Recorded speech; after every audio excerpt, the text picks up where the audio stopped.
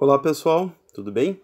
Aqui é o professor Márcio, autor do blog Diário de um Químico Digital, e agora eu vou mostrar para vocês a ferramenta PixArt, que é assim. Então, quando a gente abre o PixArt, ele tem um grande botão mais, no qual nós vamos clicar. E aqui, várias coisas que nós podemos fazer. É, tem uma lista de fotos que a gente pode usar para editar, estão aqui as imagens que nós vamos utilizar. Uh, alguns planos de fundo, não é o caso que nós vamos usar um plano de fundo próprio. Ele também permite fazer colagens com várias fotos, montagens ao estilo livre, colocação de molduras em fotos e permite fazer desenhos uh, à mão livre, inclusive. Esse aplicativo ele funciona também como uma rede social de pessoas que criam um, eh, conteúdo nele. Então aqui já tenho o, o, o meme que eu pretendo fazer. eu já fiz previamente para testar as coisas que eu quero é, experimentar. Então vou escolher um fundo. Esse fundo azul aqui, que eu recortei previamente. Então vou clicar. Como eu estou na versão gratuita, ele tem propagandas, às vezes barulhentas. Então ele abre o fundo. O que, que eu vou fazer agora? Ele tem aqui uma barra de ferramentas com muitas opções. Esse PixArt ele é muito completo.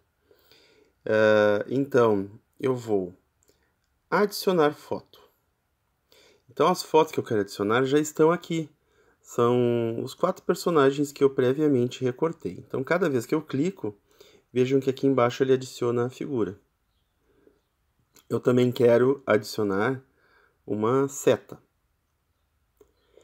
E os personagens estão todos é, dispostos aqui, né, prontos para serem utilizados. Então, vejam que tem um X que fecha e cancela a figura, ela some da área de trabalho, uma seta curva que serve para girar e uma seta dupla que serve para aumentar ou diminuir o tamanho da minha figura. Então, vou posicionar esse personagem de branco bem à esquerda e vou selecionar esse personagem de preto e vermelho e colocar ao lado do primeiro. Vejam. Coloquei aqui um do lado do outro. Eu vou colocar a seta na posição correta, vou diminuir um pouco o tamanho dela e vou colocar a seta aqui no meio.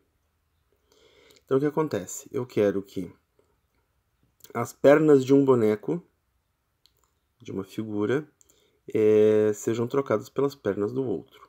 Então, meu personagem que é todo branco, ele vai pegar as pernas vermelhas do segundo personagem. Então, coloquei aqui. Vou colocar aqui em tamanho um pouquinho reduzido, para não ocupar muito espaço. Hum. E o, o segundo personagem também em tamanho reduzido ao lado dele. Muito bem. Então agora eu tenho aqui uma representação por meio de bonecos Lego de uma reação de pode ser uma reação de neutralização.